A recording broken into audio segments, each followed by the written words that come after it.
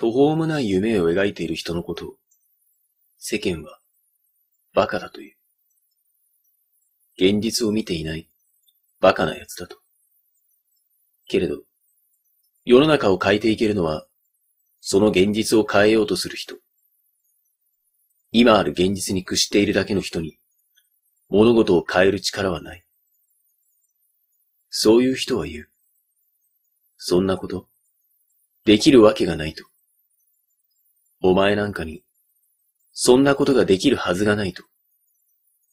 でも、なぜそう言い切れる？それは所詮、その人の頭の中の限界を前提として、否定しているに過ぎない。そんなたわごとは、どうだっていい。重要なのは、自分が本気で成し遂げる覚悟を持っているかどうか。それがあるなら、あとは突き進むのみ。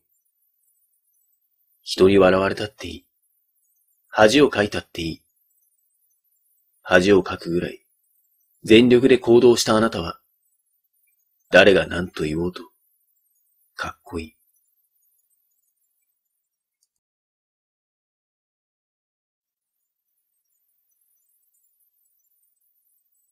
お前なんか頑張ってない。昔、そう言われたことがある。確かに、その人から見たら、頑張りが足りなかったかもしれない。けれど、その時の自分は、現状を何とかしようとあがいていた。できることをしようと。頑張りの量は人によって違う。それを自分の基準に合わせて馬鹿にする人は、知らず知らずのうちに孤独になる。重要なことは、その人が全力でやっているかどうかということ。人から見て、その量が少なくても、その人が今持てる力を持って、全力でやっているなら、何の問題もない。そうやって、筋力のように、どんどん力はついていく。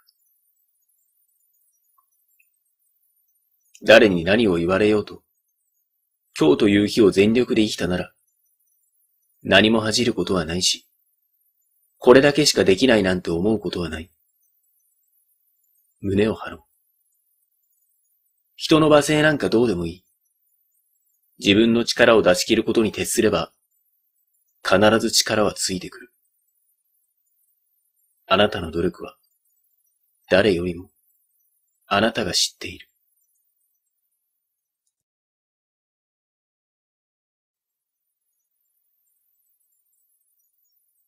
壁にぶつかったり、嫌なことがあったりすると、気持ちは下に向いてしまう。それを責める必要はないし、何も珍しいことじゃない。でも、ふと冷静になると、本当にそれでいいのか、という思いが湧いてくる。人は、老若男女問わず、いつ死ぬかわからない。病気じゃなくても、車にひかれれば、あっさりと死んでしまう。それなのに、生きていると、当たり前のように明日があると思ってしまう。そんな保証は、どこにもないのに。そして、人が死ぬとき後悔するのは、やったことではなく、やらなかったこと。うつむいて、ふてくされて、今日という日を無駄にしてる暇なんかない。いつ死んでもいいように、後悔しないように、今日という日を死ぬ気で生きる。そんな気持ちで生きていたら、恥とか、体裁なんてどうでもよくなる。そんなくだらないことに気をもんでいる暇は、ないってことに気づく。大きな目標を掲げながら、同時に今日死んでもいいと思えるように生きる。そのバランスが一番強い。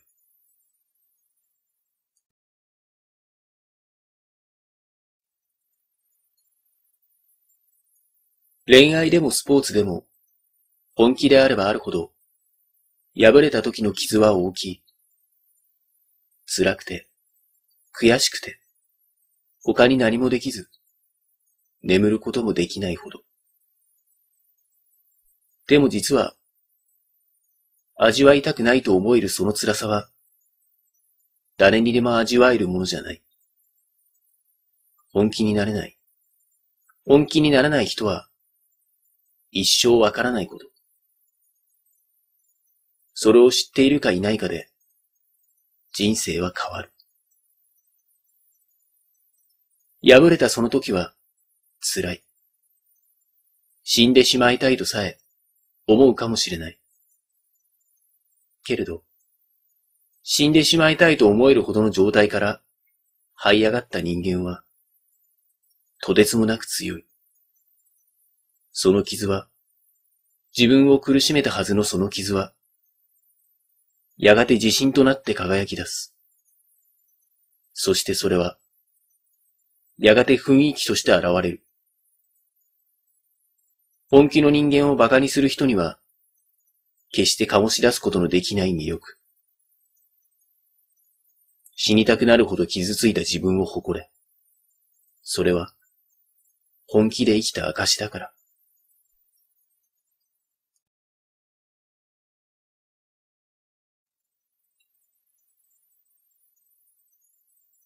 嫌われることを極度に恐れる人がいる。そういう人は自分をよく見せようと必死になる。あまり踏み込まず、八方美人的に表面的な優しさを見せたり、見栄えを良くしようとする。でも、誰にでもいい顔をしようとすると、一貫性がなくなる。一貫性がない人は信用されない。決して悪い人ではないのに、結果的に好かれていなかったり、嫌われていたりする。でも、相手も表面的には柔らかく接してくれるので、自分が嫌われているとは気づけない。万人に好かれることはできない。たくさんの人に好かれていても、嫌われることも当然ある。嫌われることは怖くない。逆に、誰にも嫌われていないと思ったら、おかしいと思うぐらいでいい。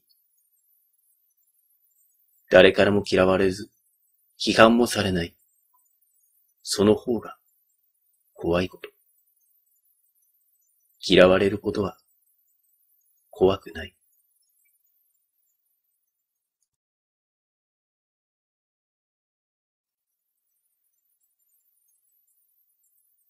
好好きな人に告白するとき、新しいことにチャレンジするとき、知らない場所へ行くとき、そういうとき、怖いと感じることがある。出来事そのものが怖さを持っているかのように錯覚する。でも、怖いという気持ちは、外からやってくるものじゃなく、内側からやってくる。出来事に対する自分の想像が怖いという気持ちを連れてくる。怖いと感じてしまうことは仕方ない。でも、その怖さが内側から来ていることを知っていれば、どこか冷静な心を残せる。そうなれば、閉めたもの。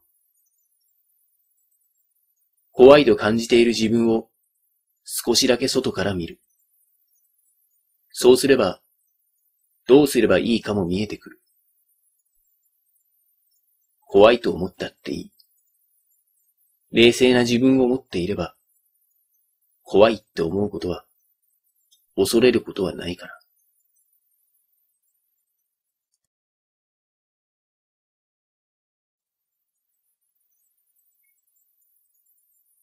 八方塞がりと思ってしまうと、目の前のものが大きく見えてしまう。それは、心がしぼんでいるから。心がしぼんで小さくなっているから。アリが人間を見上げるように大きく見えてしまう。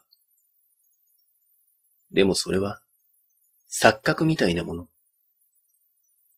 目の前にある困難を包み込んでしまうぐらい、心を大きくすれば、困難の本当の姿が見えてくる。心を大きくするには、まず、イメージをする。自分の心からサークルが出ているイメージをして、それをどんどん大きくしていく。そして、困難を包み込んでしまう。そうすれば、困難はもう、困難じゃない。解決策は、自然と見えてくる。心がしぼんだまま戦おうとするのではなく、まずは心を大きくする。そうすれば、負け戦は、勝ち戦に変わる。乗り越えられない困難は、ない。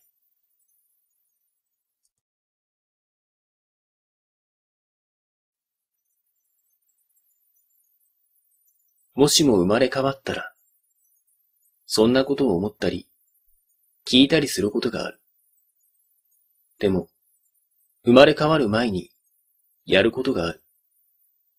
それは、今の自分の人生を全力で生きること。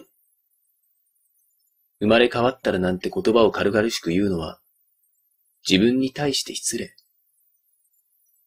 今の人生を全力で生きられないなら、生まれ変わってもうまくいかない。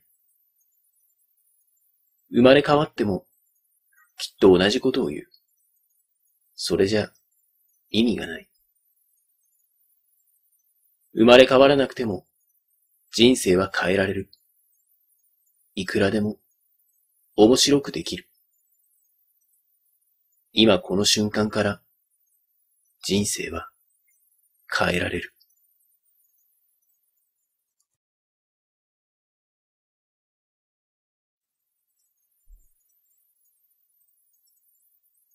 ポジティブの方がいいと言われると、なんとなく、ネガティブはダメで、全部ポジティブにしないといけない。そんな風に思ってしまう。でも、100%のポジティブには、慎重さが欠けている。100%のネガティブには、明るい未来がない。どっちも、偏っていたらうまくいかない。大切なのは、バランスを取ること。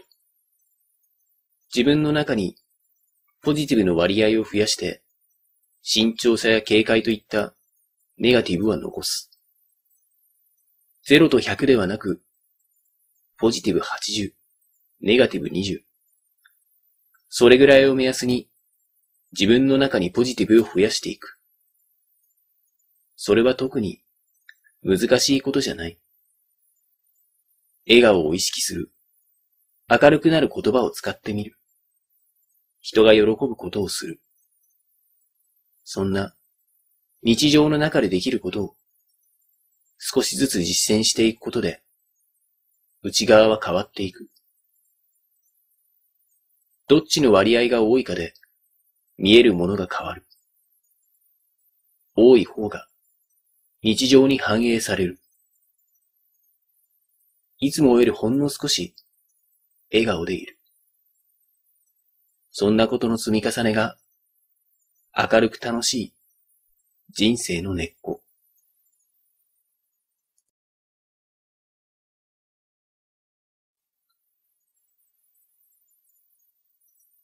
誰でも、かっこ悪い姿を人に見せたいとは思わない。でも、あまりにかっこ悪さを見せたくないという気持ちが強すぎると、行動範囲が狭くなってしまうし、人付き合いにも支障が出る。もし格好悪いところを晒してしまっても、隠さない方がいい。特別、取り繕う必要もない。格好悪い自分を見せても、何やってんだ俺は。と自分で笑ってしまうぐらいが、ちょうどいい。かっこ悪さを晒しても、それを隠さずに笑える余裕は、かっこよさ。かっこ悪さを無理に隠そうとして、変な言い訳をしたりすると、かっこ悪さを上乗りすることになる。もしかっこ悪さを晒してしまったら、それをネタに笑いを取る。それぐらいの感覚でいいし、それが大事。滑っても、滑ったのが美味しいぐらい、したたかでいい。